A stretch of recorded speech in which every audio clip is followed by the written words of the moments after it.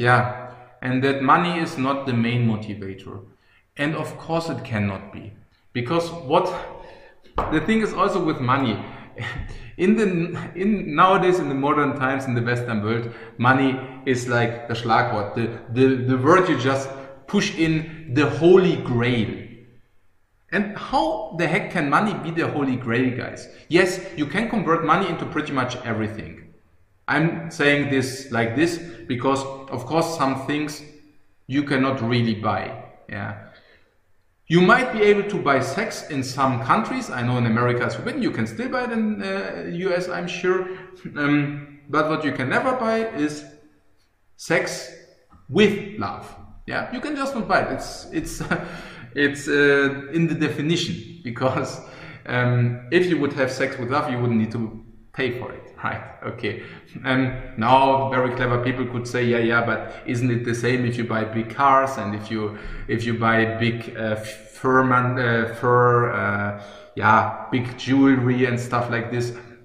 The thing is, yes, you're right about this. If if the woman if the woman wouldn't be together with you, if you wouldn't have all that stuff, yes, that's probably true. But uh, maybe it's also just that you found each other and you're just wanting to make herself, for example, pleasure and stuff like this. But what I'm what I'm simply saying is, if you think about what money is, yeah, you you will probably convert the money back into something. Some people just hoard it, like the loot hoarder. So they just hoard it and they never use it. I mean, that's super silly because you investing lifetime or you investing energy or whatever you invest for that and then you hoard it and then you die with it. So that's the very worst use of money. But um, let's say you convert it back into doing something with it, maybe also in business wise or whatever, then it gives you probably back some fulfillment. And you changed a specific amount of time and uh, some uh, something of um, maybe also some fulfillment because maybe you did something you didn't enjoy that much or you just didn't do it at all and uh, money just came to you naturally but you can exchange it for more pleasure by doing business or whatever it is or you can also uh, exchange this into higher life quality, which means if you have a certain amount of money, you can buy a bigger car, you can buy a bigger house. But what you, I mean, all these things are also measurable, right? Because you can, you can just, I mean, measurable, not one on one, but you make your li life nicer. The question is only how much nicer, right? So if in order to achieve that money, which you then needed to buy yourself this bigger car, the bigger house, um, makes you a little bit happier, but makes you way more miserable acquiring that money.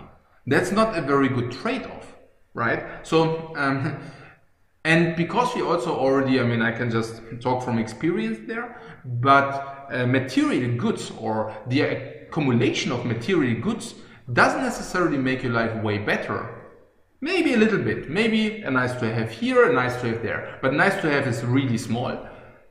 I could really not see how these small bits can ever weight against something, uh, um, for example, doing something which you don't enjoy. Doing something which you don't enjoy on a day-to-day -day basis drags you down this much. There's no way at all that this, that the money gains and the things you can buy with money can ever make up for that. No way. Yeah, just try it. You can also try the next decades if you want. Just use 20 years to find it out. Because this is another thing, right? If you if you used many decades of your life to try it out, yeah, happy you. Yeah, congratulations. And there are a lot of people like this. There are a lot of people. And this is also the thing about the carrot in front of you, in front of the horse. You are never being proven wrong because you never achieve it. So if you're if your belief is that a big house is the dream, is making all dreams come true. And that's very easy to believe because the society makes you believe so. So if you think that the one million dollar house might be the absolute dream become true, what are the chances of you being able to realize it's not? Well, the chances are very slim because you probably, if you're lucky, I mean, maybe maybe you never achieve it at all, then you can tell it yourself until the deathbed. Maybe you need, whatever, 30, 40 years to accumulate this kind of money. Then you're 70 maybe. And then maybe you buy this $1 million house. And suddenly you realize, whoa, that was full of crap. That was not the fulfillment. It doesn't even do anything to you. Yeah, no, but yeah, try it out yourself, sure. I mean, absolutely. Yeah, go ahead. Yeah. Um, yes, for example, never mind did exactly this, and yes, I can understand that completely. Okay, here again, another guy. Sure. Yeah. And yeah, exactly, yeah. Absolutely. Now you're working in the bakery and it completely fulfills you. Yeah, and I can understand that. Absolutely. Yeah. Mm. Well, you can't convert money into time is not exactly true. You can convert money into time. You cannot just buy additional years, but you can make a lot of things more effective by not being needed to do certain things. It's not 100%. Mm.